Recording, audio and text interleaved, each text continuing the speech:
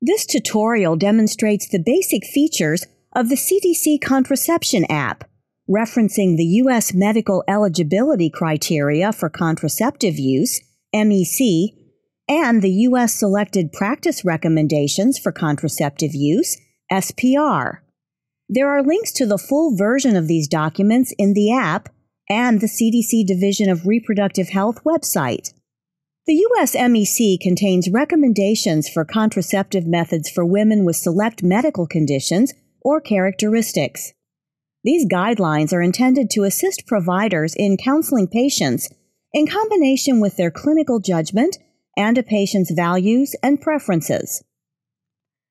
When you open the app, you can search the US MEC by selecting MEC by condition or MEC by method. US MEC recommendations are divided into four categories. Category 1 There is no restriction to use that contraceptive. Category 2 The advantages of using the method generally outweigh the risks. Category 3 the risks of the method generally outweigh the advantages.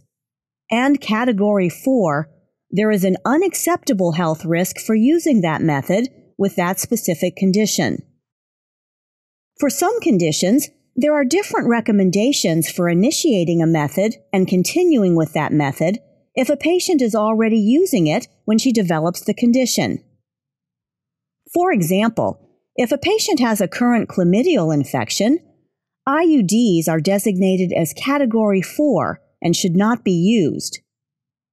If the patient is diagnosed with chlamydial infection while using an IUD, continuing to use an IUD is designated as Category 2.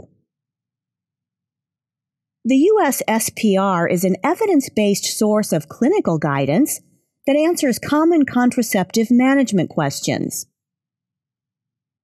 To access these recommendations, Click SPR on the main menu, then select a contraceptive method.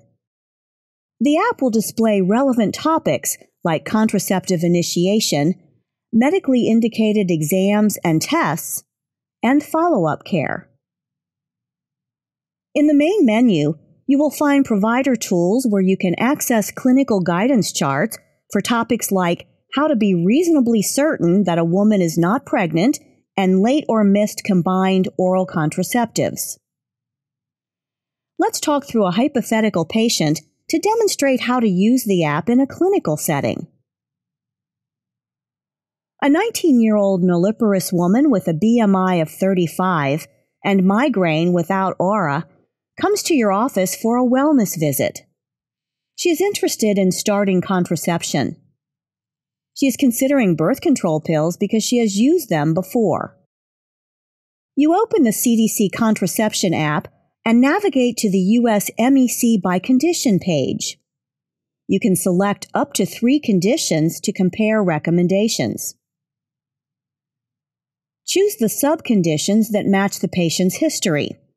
For this patient, you want to see recommendations for age, obesity, and headache. Then select Continue. The recommendations for each condition you selected are now displayed.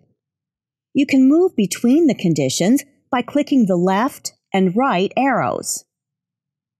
Combined hormonal contraceptives, or CHCs, are Category 1 for age and Category 2 for both obesity and migraine without aura. Considering these recommendations, CHCs are a relatively safe option for this patient. For more information on a specific recommendation, you can see the clarifications, evidence, or comments by clicking the row, number, or plus sign for a given condition and method. The patient tells you she has not been sexually active since her last menstrual period, which was two weeks ago. You want to know how to counsel her on when to start her contraceptive pills. From the US MEC recommendations page, you can view the US SPR by selecting the SPR button, or you can return to the main menu and select SPR. Choose combined hormonal contraception and initiation.